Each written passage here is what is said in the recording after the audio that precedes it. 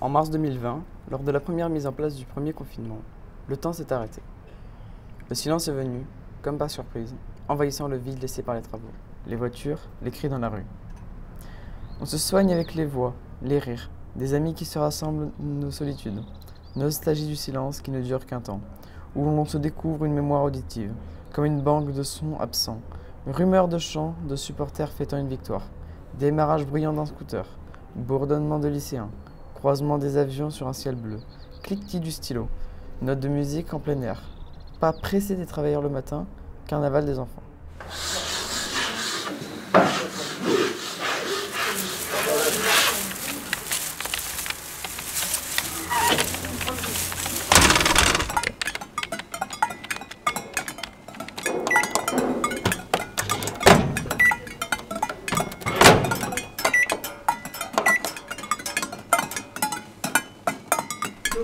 Voyez l'interface, le, synthétiseur intuitif.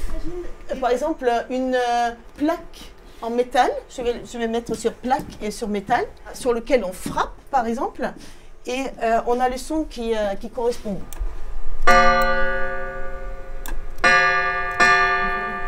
Et donc, je peux, par exemple, maintenant décider que non, je ne veux plus que ma plaque soit métallique, mais je veux qu'elle évoque du bois, par exemple. Donc, je vais me déplacer et je peux me déplacer de façon continue vers quelque chose qui est beaucoup moins résonnant jusqu'à quelque chose qui évoque du bois. Là, il y a un autre exemple où, euh, pareil, c'est l'image qui contrôle le son. Là, c'est euh, une balle qui roule sur, euh, sur différents types de matériaux. Donc là, vous allez entendre des évocations de différents types de matériaux. Donc vous voyez le matériau ici et puis vous allez entendre que c'est cohérent. Quoi. Donc on, part du, bois, là. Donc là, on est sur euh, du bois. On passe à la pierre. Au verre.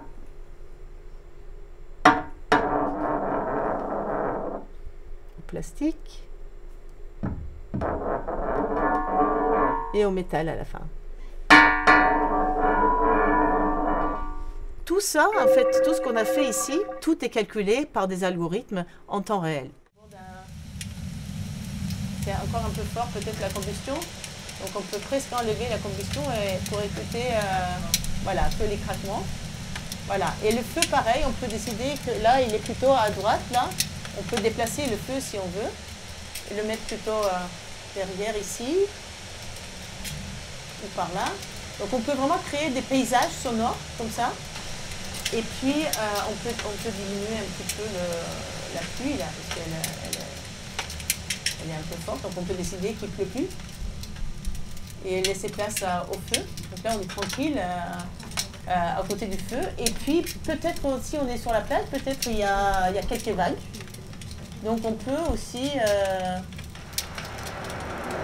rajouter des vagues. Là, on a des vagues qui sont plutôt côté gauche ici.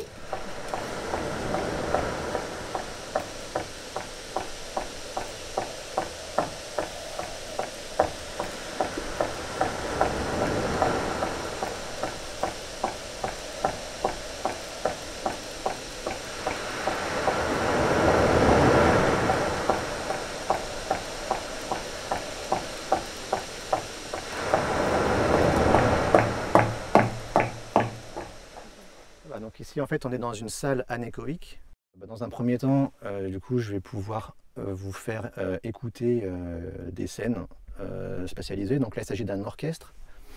Ce qu'il faut savoir, c'est que la scène, elle a été enregistrée avec un micro qu'on appelle ambisonique à plusieurs capsules. Donc en fait, elle a capturé vraiment une, une scène d'orchestre complète. Le micro, il était situé juste devant le chef d'orchestre. Donc en fait, quand on reconstruit la scène prise avec ce micro-là, dans la, sphère, on ressent vraiment le chef d'orchestre qui est derrière, euh, les violons qui sont sur la gauche, les violoncelles sur la droite, les flûtes qui sont derrière. Donc c'est vraiment intéressant. En fait, on arrive à reconstruire comme ça l'espace euh, acoustique d'une scène euh, donnée.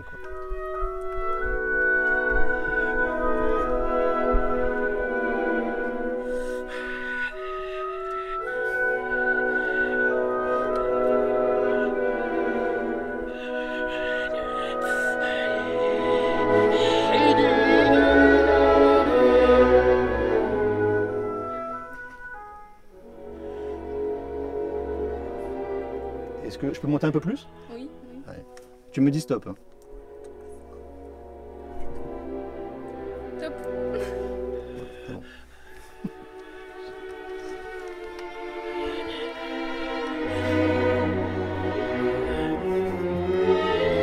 Spécial.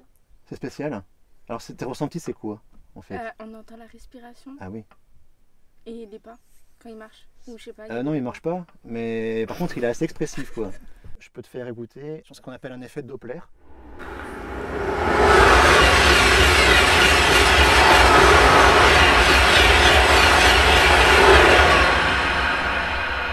On entend vraiment passer. hein. Tu le sens passer, Ouais. Je me fais attraper. tu le sens passer plutôt euh, à droite ou à gauche? Bah, il part de là, il arrive là-bas. Bah normalement c'est pas comme ça. Non, c'est vrai en plus. Enfin, normalement que cette scène-là, elle est censée, elle est, en fait, le train il est censé arriver comme ça Ah. et passer sur ta, sur ta droite quoi. Moi, je l'ai entendu par là. Il partait par là. Ah ouais. Ouais. Bref, ouais, peut-être qu'il y a une petite, enfin, une petite rotation dans la scène qu'il faut, euh, qu'il faut gérer. Ouais, je pense que ça va, C'est bon.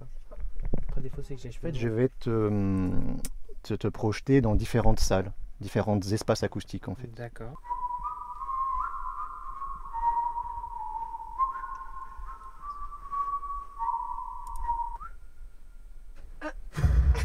Vas-y, vas-y, continue, continue. Là, c'est juste la transition en fait. J'avais coupé, le... j'ai changé. Ah, c'est pour ça. Tu vois, il y a, en fait, quand je change de salle, évidemment, il y a la réverbération que tu. Ouais, mais tellement que ça s'arrête net, en fait, c'est. C'est vraiment. Ça fait église. Alors, vous- ça, c'est une salle un peu spéciale, c'est la plus réverbérante qu'on ait. C'est le Palais des Papes à Avignon. Donc, en fait, quand on. Si tu fais un, juste un. Tu fais juste un petit son, tu oh, comme ça, tu vas te rendre compte du temps.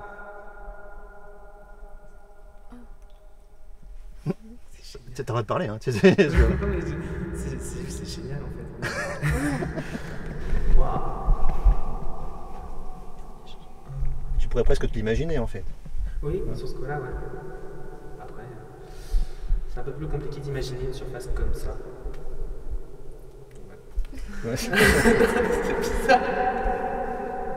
Ok.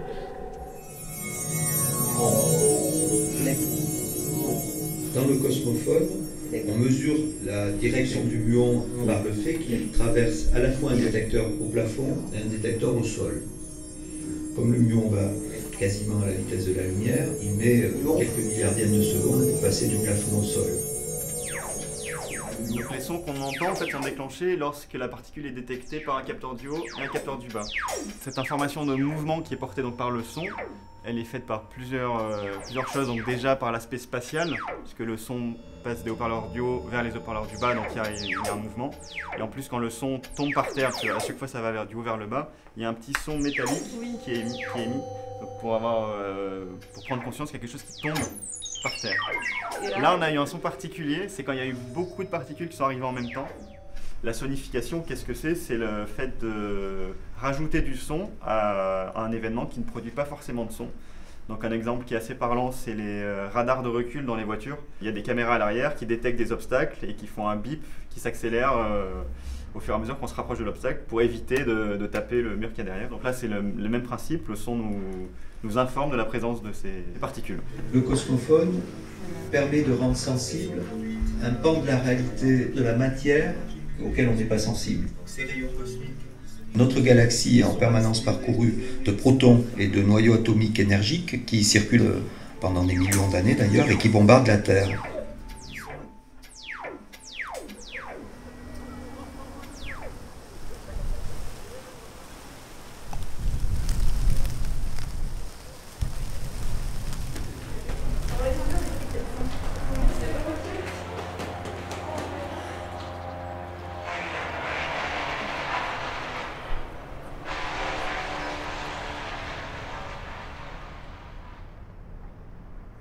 Silence assourdissant. Silence plein de cris de ma mère sur ma sœur. Silence abyssal. Silence mortel. Silence immobilier. Silence de l'inactivité. Sans les sons des noctambules, je veux revivre comme un hibou. Silence jour et nuit. Silence la nuit comme le jour. Je veux danser. habiter l'espace d'un corps, d'un rire, habiter le dehors, se vêtir et sortir.